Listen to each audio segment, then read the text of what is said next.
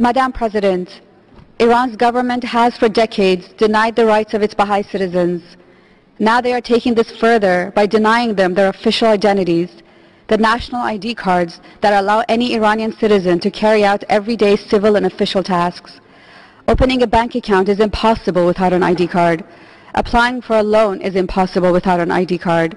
Obtaining work permits, making bank transactions, buying or selling homes, applying for passports, no one in Iran can do any of these without an ID card. And the Iranian government has effectively barred every Baha'i in Iran from applying for one. This ID card should be available to every citizen.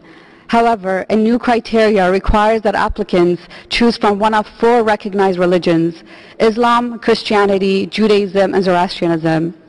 Madam President, when a Baha'i in Iran recently tried to apply for their ID card, the document registration office said that their religion was not sanctioned by law and advised them to use one of the four available options. Baha'is will not lie about their faith as a matter of principle. But how strange for a government to advise citizens to lie and to falsify official documents. This the Baha'is will not do. Mr. Rehman, barring Baha'is from applying for ID cards turns each of them into non-persons. What can the international community do to stop a new and far-reaching form of persecution that appears designed to hollow out the Baha'i community once and for all?